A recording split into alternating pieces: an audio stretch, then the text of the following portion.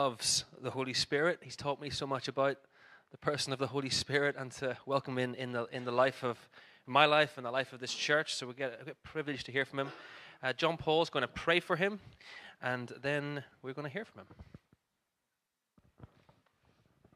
Yeah, um, it was just beside a picture in the worship of two coffee urns, um, the ones out there. And I, I think it's fair to say I've never actually thought about coffee in the worship, just in case you're wondering. And, um, and one of the, the coffee urns now has this sign that says strong coffee. And I just thought as a picture of today that we want to, um, as a picture of the Holy Spirit is kind of like that. Do we want strong coffee or the weak coffee? Okay, so you know, hospitality team, thanks for you know looking at people's preferences. But I think I just want to pray for us now that we will desire the strong coffee as uh, Norman brings what he's prepared. So, Lord God, I thank you so much that you long to be with us, to be with your people, Lord, and you are a God who comes in our midst, Lord, and makes yourself fully uh, manifest, makes yourself revealed, Lord, and that you are.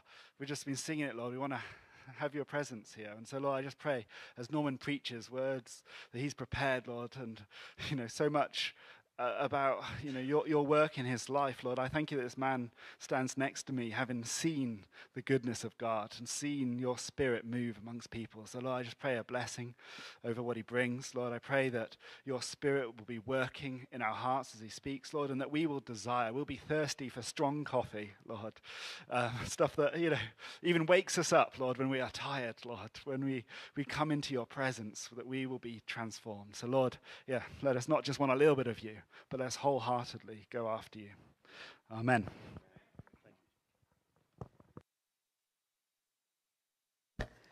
Okay, well, if you'd like to get your Bibles open, um, I'm doing the second part today of, um, of, of, prophecy.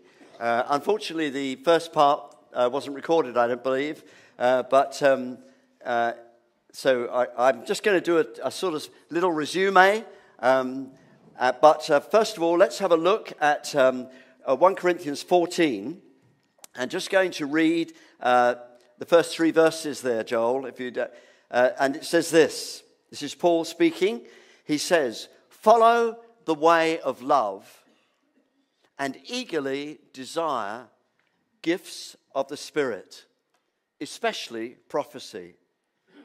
For anyone who speaks in a tongue doesn't speak to people but to God. Indeed, nobody understands them. They are utter mysteries by the Spirit. But the one who prophesies speaks to people for their strengthening, their encouraging, and their comfort. Last time, that was really where I concentrated at looking at what those three words meant.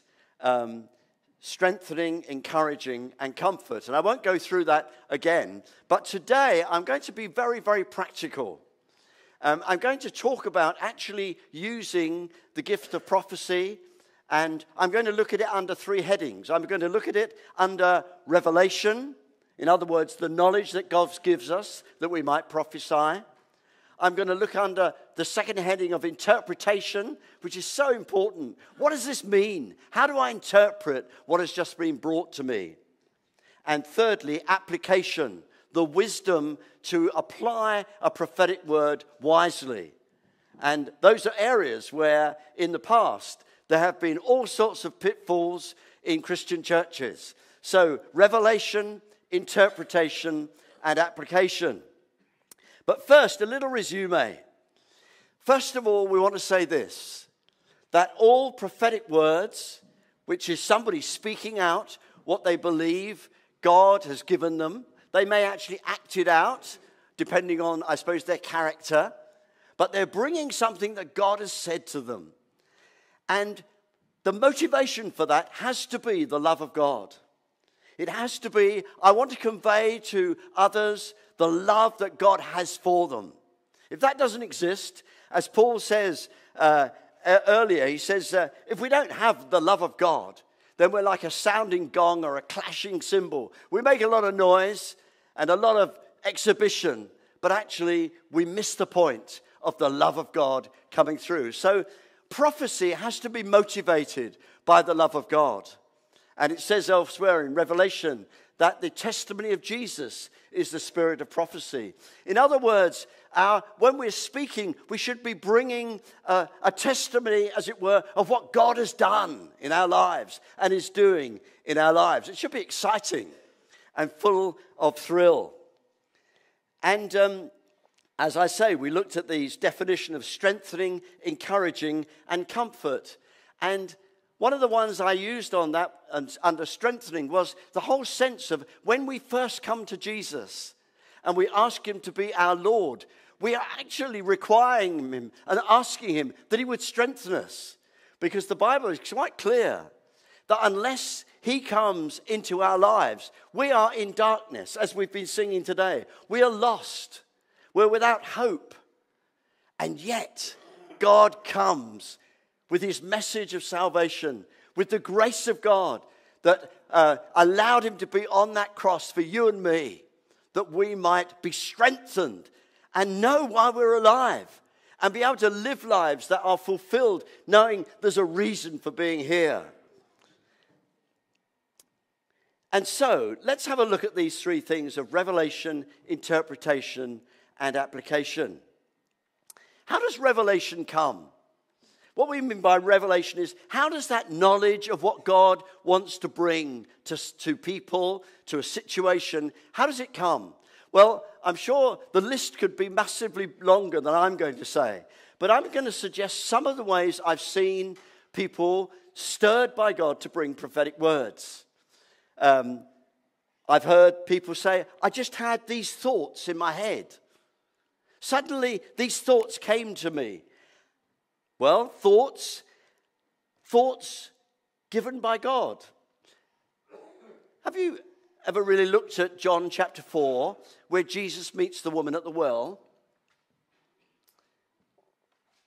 He was a man like us, and yet he was fully God. And in front of him is a woman who is in desperate need. She's a lonely woman. She's, she's actually come to draw her water at the middle of the afternoon when no other women would be there. Because, in a sense, perhaps she's disgraced about the way she's been living sexually. We don't really know the background to her. But Jesus looks at her and knows her heart, and he sees into her soul. And yet, and he has a word from the Father for her, which is going to build her up and strengthen her. And uh, but he doesn't go charging in and destroying this woman with some, hey, the way you've been living is not good. He actually, first of all, he whets her appetite with speaking about the water that he can give, which isn't like the water she's about to draw from the well, which is going to satisfy her for the day. But he speaks about the water that he can give, which will satisfy your thirst forever. And she says, Give me some of this water. And he says, with his word that God has given him, Go and call your husband. And she, at that moment, is allowed the freedom to confess her background without pressure. And she says, I have no husband. And he says, That's right. In fact, the man you're with now is not your husband and he lists the others that have been with her. And she says, I can see you're a prophet. But he is doing something in her which is saying, God knows about you, and yet God wants to bring life into your soul. And I, I love it. She, it. When she's had her conversation with him, she rushes back to the town or the village that she comes from and says, Come and meet a man who told me everything I ever did. I think there were some men that probably didn't feel too happy about that. But it says most of the village went to find this Jesus. See, this is the word of the testimony of Jesus. That's what prophecy is about. It's to build us up, to strengthen us. Sometimes, as we mentioned last time, a house is falling down, it needs to be underpinned. That's the strengthening sense. Sometimes it just needs to be encouraged as a person. Come on, press on. Sometimes we need to be comforted. Is I was thinking that was right, but I didn't know whether it was right. And a word comes that helps us to understand. So just thoughts, but given by God. How easily we ignore these. I'm going to go into dreams.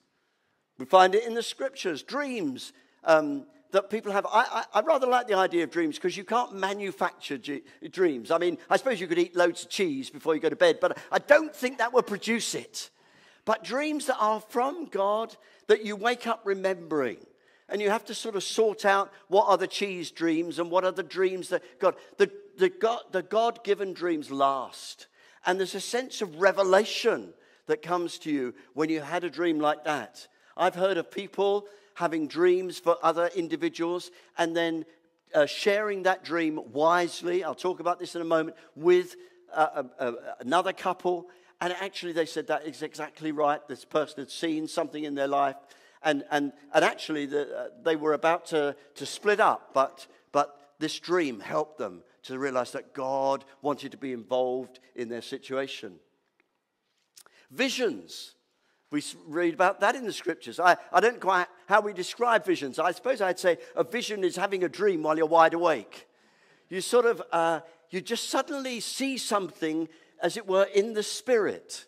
And if you're not a Christian here this morning, you might think this is really strange. What are these people talking about? Listen, there's a whole world that you don't know anything about. It's the world of the Holy Spirit. It's the world of the living God. It's the world of the one who said, Let it be. And it was. And he wants to involve you in that too, even today. So, visions and dreams, sometimes it's just scripture. You know, it happened to me just last week.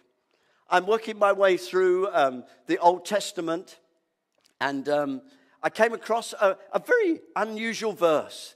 But it, it so struck me that I underlined it and wrote a little thing in the margin and, and, and thought about it.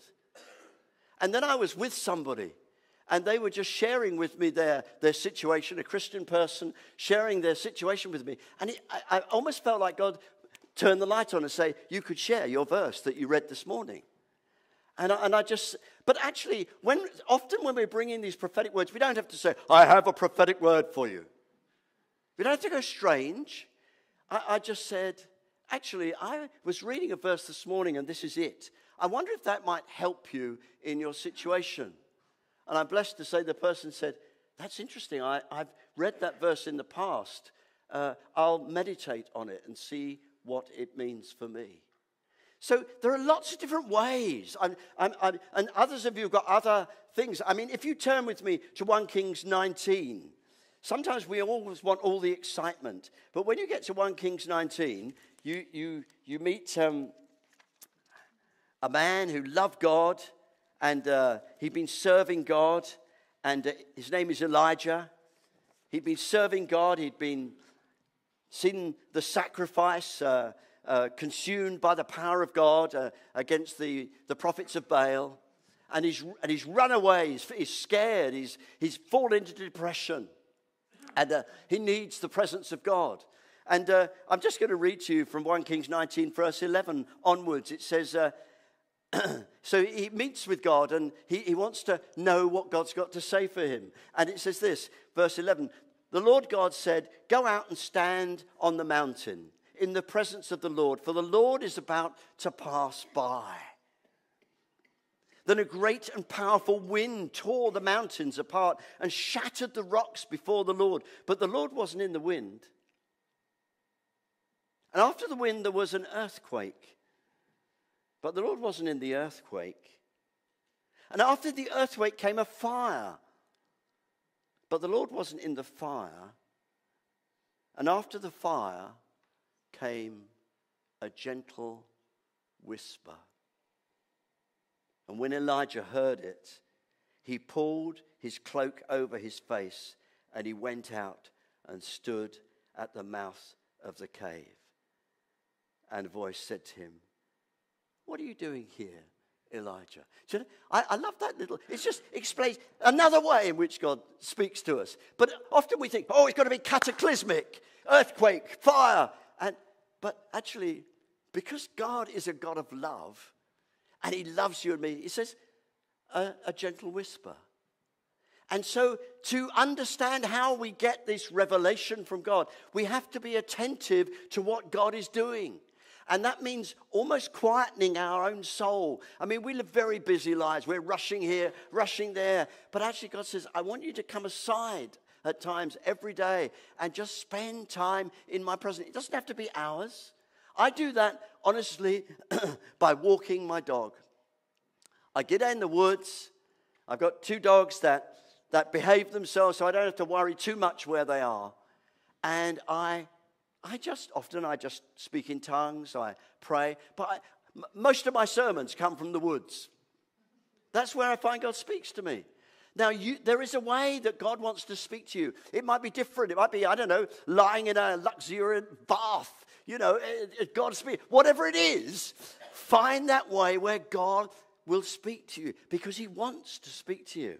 And so, this thing of revelation, there isn't a great uh, list that I could, you could probably, others of you could add other things, but God wants to speak to you. Can I just say something over this? None of these things of God speaking to us prophetically is supposed to be a substitute for common sense. I've met Christians that, oh, I need, I need to know this, I need to know that. Well, use a bit of common sense as well. But hear from God and let Him speak to your soul. I think you know, actually, during worship this morning, I felt the presence of God very strongly. And it's almost like, it's almost like being hugged by God. And you just, sometimes isn't that right with husbands and wives or children or whatever? Just a hug is all you need. That's what God is wanting to do to bring his prophetic word into your soul to light you up. So I just want to say something about uh, bringing um, prophetic words. Um, when you bring a prophetic word, and I am a bit emotional and I do wave my arms, so I'm, I'm going to speak against myself in one way. When, if you've got something to share with others, um, you, you could, it's best shared without great emotion. Because I, I remember in Sevenoaks, we had a lady, and whenever she wanted to bring something in church, she would go, and, and so many groans. I just think, I don't know what she's trying to say. It would be so much better if she was just quite supernaturally natural and said, I feel I've got this I want to share. Also, um, I think that the person who's bringing the pro- pro- prophecy must be willing to be accountable if what they speak to somebody, and we'll talk about this in a moment, and, and it doesn't come true, if it's not right. They, they, they're allowed to say, actually, I brought that and I've actually, I realize it hasn't come right. There has to be an accountability to what is brought, particularly uh, if, it's not, if it earns not to be true. Uh, and that honesty can, can bring an authenticity to the, to the ability to bring a word from God. And as I've already said, don't always say to somebody, I'm about to bring a prophetic word. Uh, Jesus just spoke normally to that lady. And, and there are loads of other places where Jesus used the gifts of the Spirit. By the way, did you notice the way he used wisdom with a word of knowledge? The word, of, the word of wisdom was to say to her, Bring your husband. Let her come forward and, and, and approach God. So that, that's happened in other places in the scripture. If you look at the way Jesus deals with people, if you read through the first few chapters of Revelation and see how Jesus speaks to the seven churches, you'll find there's great love and mercy in the way he corrects as well as encourages. Read them through for yourself and say, God, could you use me in this way? And I would say, if you've got a word from God, don't embellish it. You don't have to add to it. Just say it as it is and let it stand. If it's a word from God, it will have the effect it's supposed to do, which is to strengthen, encourage, or comfort somebody. Just let it stand as it is and let God do what he wants through it. Smith Wigglesworth, who uh, I can say his name today, I've obviously got my teeth in, I couldn't say it two weeks ago. he says this he says, anybody using a gift of the Spirit, uh, uh, sorry, whenever a person uses a gift of the Spirit, those that are listening to him should be left with a sense of awe for Almighty God, not awe for the person bringing it. In other words, what was it, John the Baptist? Uh, what did he say? Um, he must increase and I must decrease. So it's not about us. It doesn't, it's not like a, a certificate of how well you're doing spiritually because you can do this, whether it's speaking in tongues, prophesying, or whatever. Actually, they're gifts of the Spirit, they come from Him. We are simply the means by which He wants to speak them out. Just give you some example. At the end of my foundation classes in Sevenoaks, um, I would always bring in a little team of prophetic people that I'd been working with. And uh, do you remember two weeks ago I talked about Sheila, who had a, wrote down a, a word about coming to a place with cobbled streets, which is here, and pushing a cart. And I won't go through all that again. She was the one. And on, uh, just give you an example, how another example of how she brought prophetic words, which are so good uh, I'd said to her and, and four or five others who we've been working with, we often met together, prophesied together, prayed for each other, and all that sort of stuff. I consider them a little team that I had great confidence in. And I bring them into the end of my foundation class to see if there was anything that they wanted to say to the people, because I wanted people who came into the church to be, as it were, baptized into the things of the Spirit. And um, she came in, and uh, so I said, uh, uh, you know, have you got anything to share? And she started rummaging in a handbag. And out she brought a packet of sunflower seeds. I thought, hello, where are we going now? And she said, I was just walking around the supermarket, and then she walked up to one of the ladies in the foundation class, and she said, I believe God wanted me to give you these sunflower seeds because he loves you very much. I don't know quite what they mean, but she gave the sunflower seeds to this lady. And the lady just bawled her eyes out. She just wept and wept. But it was a good weeping. And we said, when we prayed for her, and it was very powerful. I mean, hardly anything been said. So I've got this packet of sunflower seeds. And what emerged was that this lady, when her son, her son at the age of 16 or 17, was killed riding his motorbike, at the day of the funeral, she came home and from her kitchen window there's a lovely wall and she planted sunflower seeds so she could remember and be thankful to God for the son she'd lost. I mean, you know, listen, this is the effect of this. If we will just allow the Holy Spirit to blow through us, it was a wonderful moment. It was, and it was extraordinary, and it was unlikely. And that's how God is. Let's have a look at interpretation then. What about interpretation? You know, the interpretation of a prophetic word is not always obvious at the time. And I would say that the person that brings a prophetic word is not the best person to interpret it either. Because there is a tendency to want to add to something. But, um, uh, but if, a, if you're bringing a word and it's a word from God, you can, ex- uh, or uh, you're receiving a word and somebody's brought it to you, Uh, you, you can expect it to be confirmed by other ways or other means. I don't know if you remember, but Mary when uh, at you know what we call Christmas time, and the, this whole load of shepherds are all come flying down the hills with their bags and their and all going, "We've seen angels! We've seen a host of angels!" I mean, the poor ladies who don't just give them birth, and they're barging into the you know the, the room and "We've just seen angels!" And this um and this child you have, and they start to speak about what the angels said. Do you remember this about uh, the, what this uh, this Jesus would be? There's a little, when, when they've all gone, and I'm sure Joseph and Mary went, whoa. Um, when they're all gone, it says, there's a little, in Luke chapter 2, verse 19, it says, um, Mary treasured all these things and pondered them in her heart. Now, I think that's a, a very good key to what to do when a prophetic word comes. You may not be Mary, but if somebody brings a prophetic word to you or you feel God's spoken to you, hold it, ponder it, treasure it up, and say, God, if this is right, would you confirm it in another way?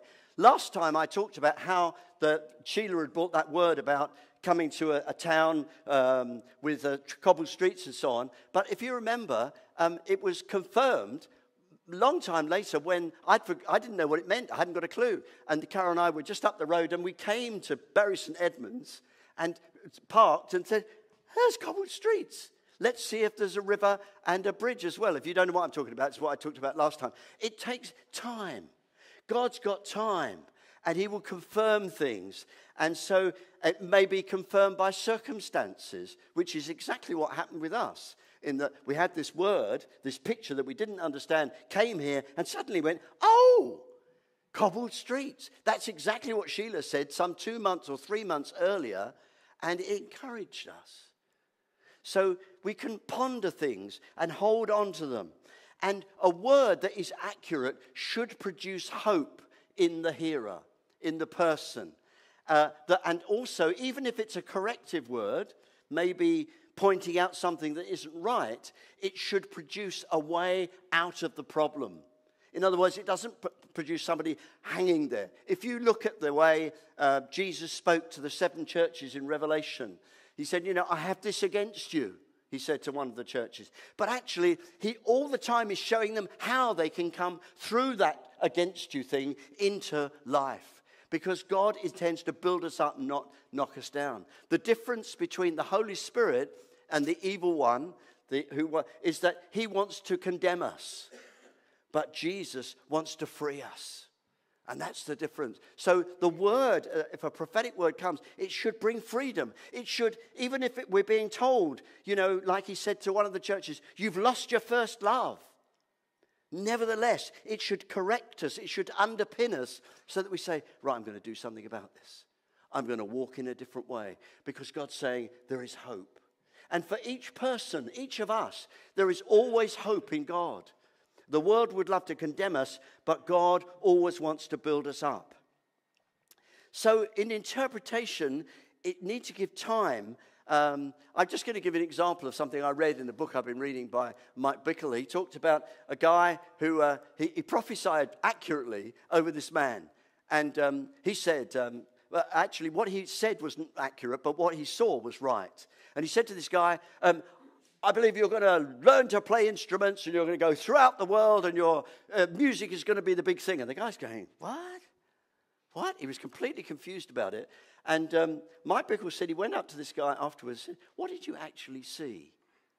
So he said, Well, I saw this guy and I saw music notes above his head.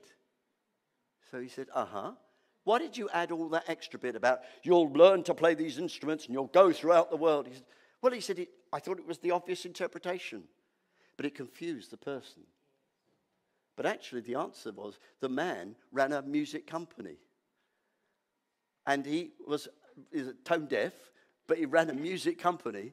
And it was just God saying, actually, I'm going to spread your, your company throughout the world. Now, uh, because I've explained at the end before the beginning, um, that might seem a little bit confusing. But I, what I'm saying is, don't embellish what God gives you say it as it is and leave it there, but also make sure that the person, one of the things you can say to somebody, if I bring a, a word to Andy, I can say, Andy, does that mean any sense to you? It gives him the opportunity to say, I don't understand it at all. I could say, okay, maybe I've got it wrong. Then I walk away from that. But if it does turn out to be of any sense to you, then come back and encourage me. Do you understand? It's, it's not a tightrope we're walking, it's actually allowing God to speak. Now, what about application?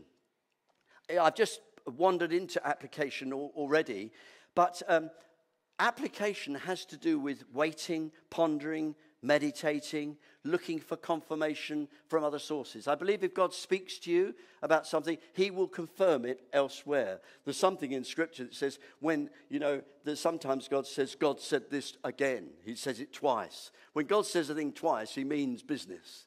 So, uh, wait in application, think, what does this mean? What does this mean in real life? Um, prayerfully looking for the confirmation from other people who don't know anything about it is very helpful. I mean, I don't quite know what I think about this, but Joseph, he was only 18, and he had this, um, this word that he was going, that his parents would bow down to him, and, uh, you know, all this. I, he did rather blurt it out, didn't he? And it didn't work out well. I mean, I, I, think he would have been wise to keep it to himself. And then I was pondering and thinking, yes, but if he hadn't been thrown in the pit, he would never ended up where he ended up. So I don't know how God would have worked it out, but I do think he was a little bit unwise in perhaps just the way he shared it. Maybe he should have taken his dad aside and said, I don't know what this means, dads, but I, I had this prophetic dream that you were going to bow down to me. And his father probably said, you might have had some wisdom on it, but he also said, you know, I should keep it yourself. Don't tell your brothers just yet. I, I, I don't really know whether I'm right on that, but all I'm saying is We do need wisdom the way we share things like that. And we must give room for it to be wrong. In the Old Testament, if a prophet got it wrong, he was stoned to death. Don't do that in the New Testament. In the New Testament, actually, we just say, Does that make any sense to you? When Sheila wrote down the prophetic word about coming here to me, I said to her, Does it mean any sense? She said, uh, Do you know what this means? She said, No. I said, Nor do I, but I put it in my notebook and kept it. And actually almost forgot about it until the day, oh no, I should have told you, Morris Nightingale, when I'm on holiday, appears for breakfast one day and says, Would you like to come to Bury St Edmunds? I said, No, I don't want to come to Bury St Edmunds. Thank you very much. And it was then that I looked on a map and saw where Bury St Edmunds was. And then I came here and saw the cobbled streets. So I'm just trying to explain to you, it doesn't all fit in the pattern we want. It's God allowing us to. Uh, take time to ask Him, Would you make this clear to me, please? And can I just say this? If you've had prophetic words over you, the sovereignty of God doesn't mean that it's automatically going to happen. It, there has to be that cooperation with us. I, have written this down. A prophetic word is an invitation to cooper, cooperate with the Holy Spirit. May I say that again? A prophetic word is an invitation to cooperate with the Holy Spirit. It doesn't automatically come about just because you've had a prophetic word over you. Um, but if you were, we won't look in it now, but in Acts 11 28, a guy called Agabus, he prophesied there would be a famine. And the people in the church said, in that case, because they knew he was reliable in the things he shared, in that they started to take an offering and and so that actually, when the famine came, they were in a position to be able to feed those who needed feeding. And, it, and it, if you look in um, uh, Acts 11:28, it says, "And this famine took place in the reign of." It was actually confirmed. So uh, prof- the application means that we actually cooperate with God uh, in order that it would take place. Can I tell you, this is a prayer I've been praying. It's a prayer I got from Mike Bickle uh, from his book that I've been reading. And he said he prays this regularly, and I found it so helpful. I don't pray these exact words like some mantra, but it's what I say to God on a regular basis Lord, what are you saying or doing at this time that you want me to participate in? Isn't that a simple prayer? Lord, what are you saying or doing at this time that you want me to participate in. And when I meet people, when I'm walking my dog and so on, I'm often praying that, Lord, is there anything that I, I put it in my own language, is there anything I could say in this situation? Is there anything this person might say to me? I try it. I, actually, what I'm doing is this.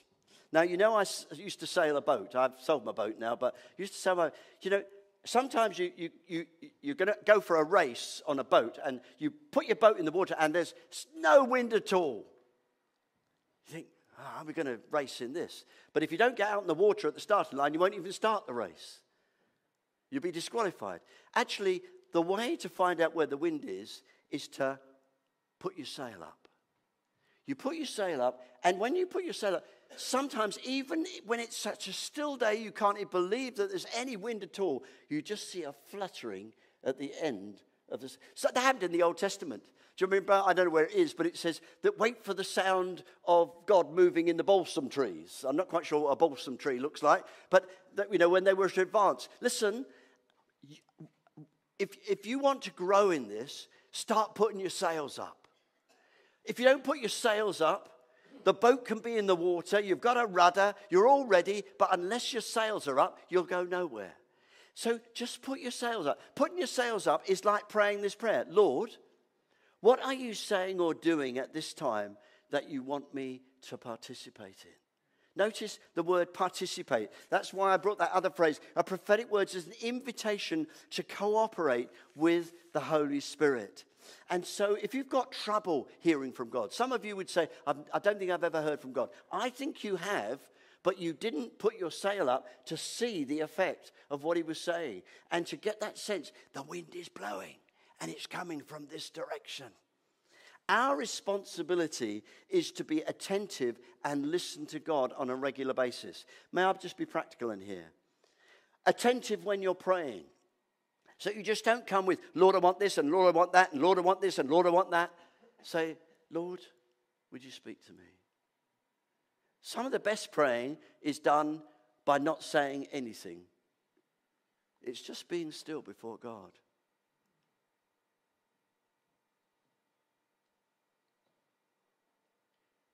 Are you saying something, Lord? Let Him take your heart and your mind and let Him blow on it and start that fluttering in your heart. When you're reading your Bibles, let Him speak to you about what you're reading. Listen, I've been reading my way through uh, Numbers, and, and Numbers has got pages and pages of names. And I, I was very tempted to say, oh, I, oh, I'll just skip to the end. But actually, I thought, no, I'm not going to do that. God wrote these names for a reason. I'm just going to read through them all.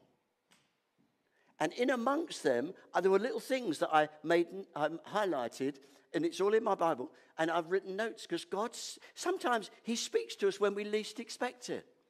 So when you're reading your Bible or when you're praying, listen to God. Make notes of things. Please do. Let the whispers of God come and then articulate what He said and say, God, when's the opportunity for saying this?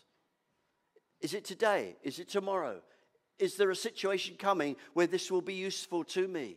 I'm just trying to lead you into this because God is very interested that we should actually bring strength, encouragement, and comfort to people around. And that people should know that there is a God in heaven who loves them. Can I just finally say this?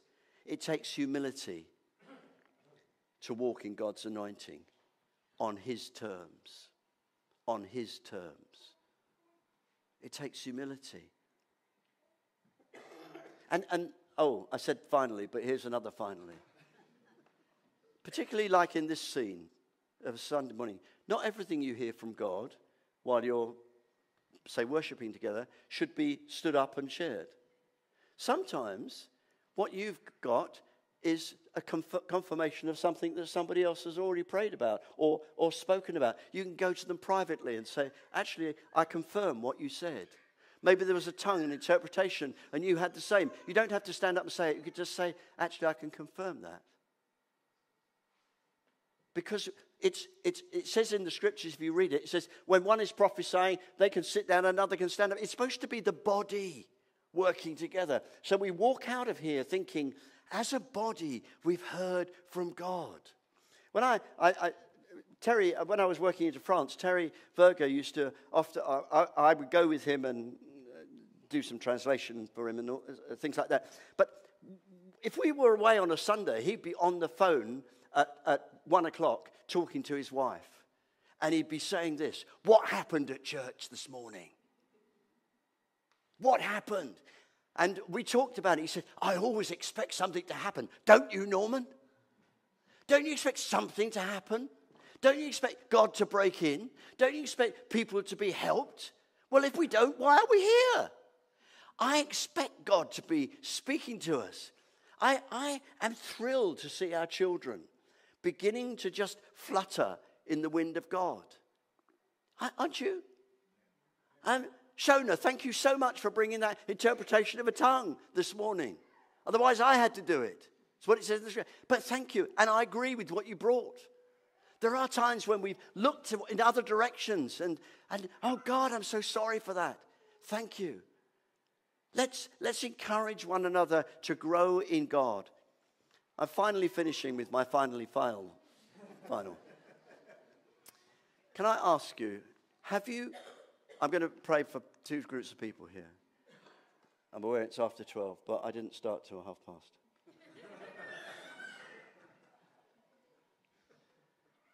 Have you actually asked Jesus to be the Lord of your life? Have you committed your life to Him? Or are you still on the outside saying, I yeah, I appreciate there's a God, but can I really ask Him into my life? You can. You are allowed to say, Lord Jesus, I want you to be the Lord of my life. You are allowed to say, Thank you that you died on the cross for me. When he died on the cross, if you will cooperate with him by asking him to be your Lord, he will move you from death to life. It's a promise of God. And you are allowed to. So you're acknowledging before him your desperate need. You're confessing your sin and saying, I need help, like that woman at the well. She was honest. And you're inviting him to be the Lord of your life. If you've not done that, I want to encourage you to do it today. And I'm standing up, and I'm, I'm not going to take a long time here. I'm going to ask you if you know God speaking to you with his still small voice, he's knocking on the door of your life and saying, Will you let me in? He is doing that because he wants to come in. And he's thrilled when you open your life. You might find it embarrassing, but he's thrilled when you open the door to him. Now, if you haven't done that, I'm going to invite you in just a minute to stand up where you are, and then I'm going to ask everybody else to stand up with you. And uh, I'm just going to lead you in a prayer. I don't know who's here, but God knows who you are. If you are here and you say, I've never really asked Jesus to be the Lord of my life, and clearly asked Him to forgive me for my sins, then now is the opportunity for you to respond to Him and let His Holy Spirit blow on you. Is there anybody who now wishes to stand? I am standing. I'll give you about 15 seconds. If you'd like to join me, I will be most grateful, and then I will ask everybody else to stand.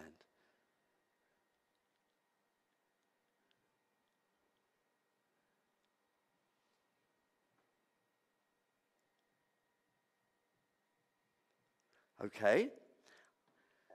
Everybody else. If you want to move and hear God's voice more often, if you want to launch out, if you want to get your sails up, maybe you've already done this for years, but you still feel, I want to go back to this. Some people, after I preached last time, a few people came to me and said, I used to prophesy, but I seem to have lost my way, or I haven't done it for a time. Yes, I know exactly how you feel. Busyness of life gets in the gets in the way. But listen, with God, there's always a way back. He's always saying, Oh, I'd be so thrilled. So if you are responding to anything I said this morning, will you please now stand with me? And would you put your hands out to God, please?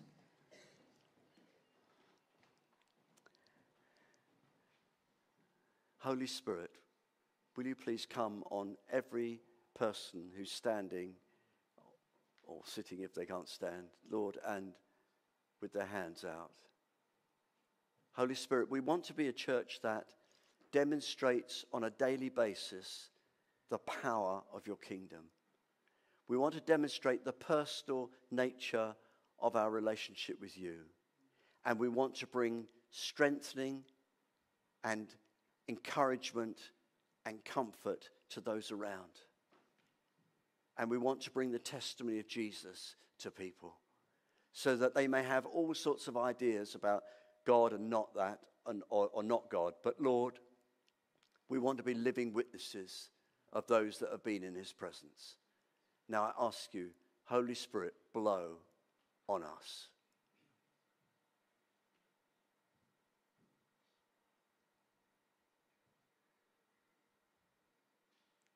Now, I know God's speaking to some of you. Just agree with Him on what He's saying to you. He's inviting you to move out, take courage.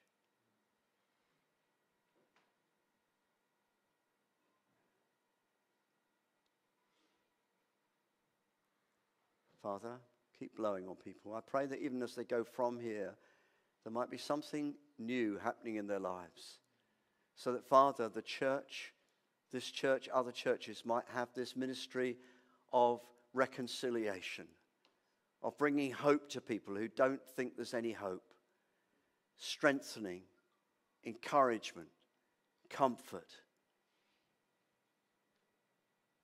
Come. Thank you, Holy Spirit. Thank you, Holy Spirit. Some of you are just getting your sails up, and God is beginning to show you there's a fluttering. He wants you underway. Now, will you just commit yourself to giving some time to hear Him? It may not happen at this moment, but as you go from here, would you just commit yourself to Him? Say, Lord, I'm going to carve out some time just to hear you speaking to me. And would you pray that prayer? Lord, is there anything you are doing or saying at this time that you want me to work alongside you, to cooperate with you in? If you'll pray that prayer on a regular daily basis when you're in front of people, I am sure He will give you things that you can say that will bring strengthening, encouragement, and comfort to people and see people move from darkness to light. In Jesus' name. Amen.